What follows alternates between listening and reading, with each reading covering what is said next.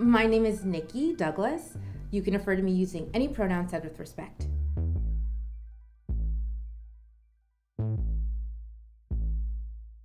I am an artist. I'm definitely what I think folks call a multidisciplinary or an interdisciplinary artist, which is to say that I work in a bunch of disciplines. I am both a choreographer and a writer, so playwriting and screenwriting. Any way that a story can be told, I like to try to tell it.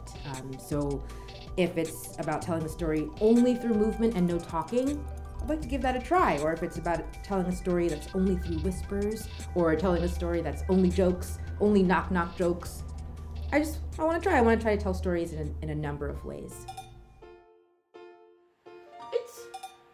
Crummy outside. It's raining a bunch. So I'm doing something that I love to do, which is work on a puzzle.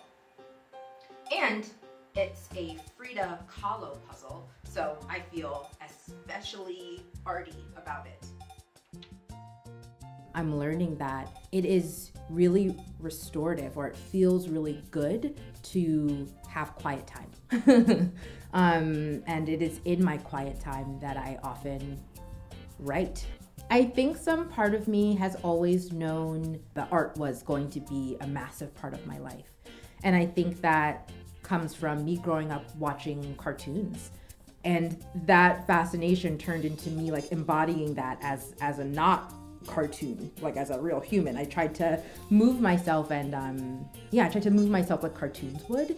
And from that, became obsessed, like absolutely obsessed with finding ways to communicate what it is I'm thinking and feeling through art. You know, like the kid in me, like my kid self, is like, yeah, do it. That's what you've always wanted to do. Like let's let's um let's make the thing. Let's make the thing that you were obsessed with when you were little, or try to at the very least.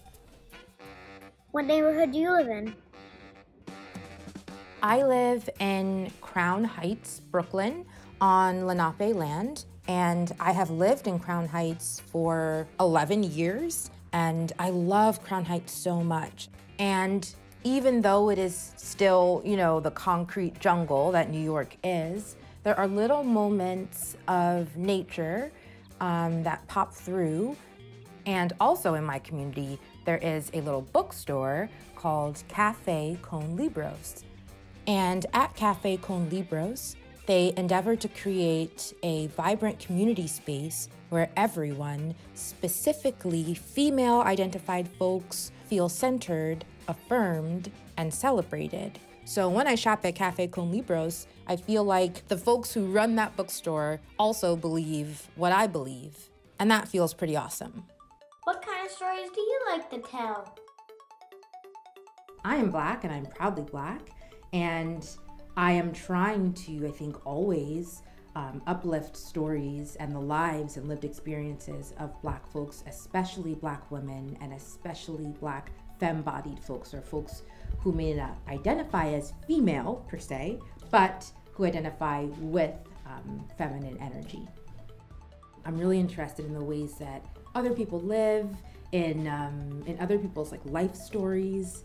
I'm really interested in other places people live as well. Not just my community, not just Brooklyn, New York, um, but also how people live and have lived um, in Ghana, how people live and have lived in California, how people live and have lived um, even in, if we want to think about made up places, I'm, also, I'm also interested in that. Um, so I'm deeply inspired by life um, and what comes up in life and, and, and what we notice um, through living.